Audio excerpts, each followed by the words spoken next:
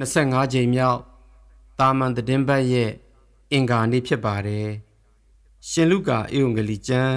အခန်းကြီး၈အခန်းငယ်16မှ21အထိထိုအခါကိုရောဤမေရောနှင့်ညီတော်တို့သည် အထံတော်သို့လာကြ၏သို့တော်သူတို့သည် လူအစုဝေးတို့ကြောင့်ထံတော်သို့မချင်းကပ်နိုင်ကြချေတစုံတစ်ယောက်ကကိုရောဤမေရောနှင့်ညီတော်တို့သည် ကိုတော့ကိုတွေ့လို၍အပြင်၌ရပ်နေကြပါသည်ဟု ကိုရောအားလျှောက်တော်ကိုရောကဖျားသခင်ဤနှုတ်တော်ထွက်တရားတော်ကိုကြားနာ၍လိုက်နာကျင့်သုံးသောသူတို့သည်ငါဤအမိငါဤညီများဖြစ်ကြ၏ဟုသူတို့အားမိန်တော်မူ၏ယေရှုခရစ်တော်သခင်ဤမွန်မြတ်သောဧဝံဂေလိတရားတော်ပေတည်း။ ကြားသခင်နှုတ်တော်ထက်တရားတော်ကိုကြား၍လိုက်နာကျင့်သုံးသောသူတို့သည်နှစ်ဆင့်တွေ့ပါတယ်ကြားတယ်။ရေကိုကြားတာမဟုတ်ဘူး။နောက်တစ်ဆင့်လိုက်နာကျင့်သုံးသောသူဒီလိုပုံကိုယ်တွေဟာသူ့ရဲ့မိသားစုဝင် ဖြစ်ပါတယ်။ဒီနေ့မေတော်နဲ့သူ့ရဲ့ညီကိုတွေကိုညှင့်ပယ်လိုက်တာမဟုတ်ပါဘူးတကယ်တော့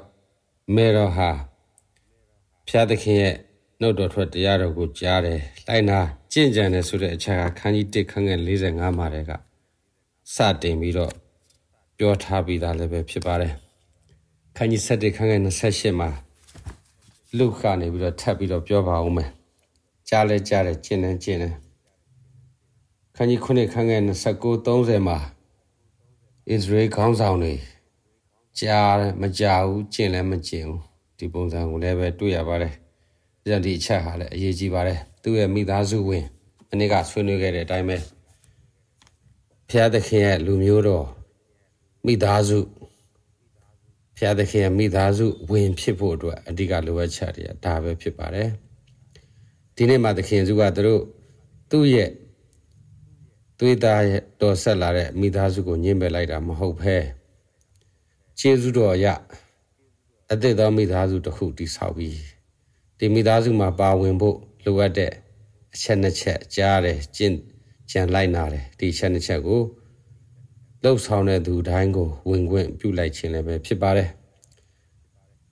extension သူ့ရဲ့မိသားစုကိုချက်ထွင်လိုက်ခြင်းလည်းပဲဖြစ်ပါတယ်သွေးသားဇာတိဘဂရိအရာဆိုရင်ကျွန်တော်တို့သူ့နဲ့အမျိုးမတော်ပါဘူးသူ့ရဲ့မိသားစုဝင်ဖြစ်ဖို့လည်းပဲမဖြစ်နိုင်ပါဘူး ဒါပေမဲ့ကျေးဇူးတော်အခြေအနေရကျွန်တော်တို့ဘက်ကလည်းကြားတယ်